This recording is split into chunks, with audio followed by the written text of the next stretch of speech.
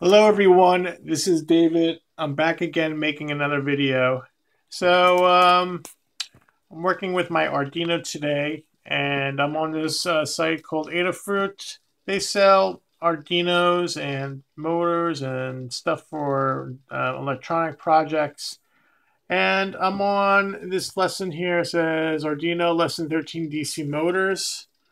They give a little bit of an introduction or an overview on a um, motor.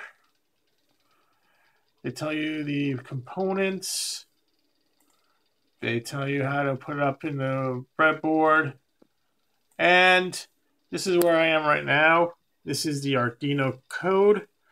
And I'm using this for my sketch that I have running right now. So this is really nice of Adafruit to have this code available. So now I'll show you um, what the code is. So I copy that code and I put it into this uh, sketch right here. And then what I do is I open up uh, tools and I go to serial monitor.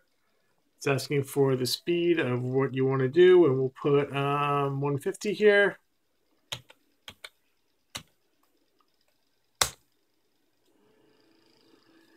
And I'll show you what my project is. So from my PC, this is from my PC. It's a USB. It's like a printer USB cable. This is my Arduino.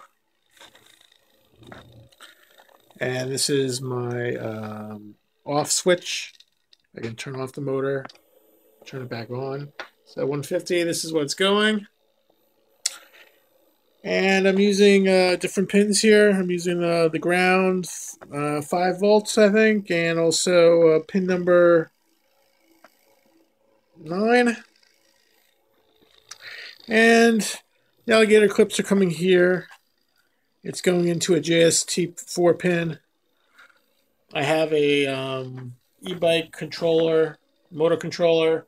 This is my DC to DC uh, step down this is my battery that I'm using.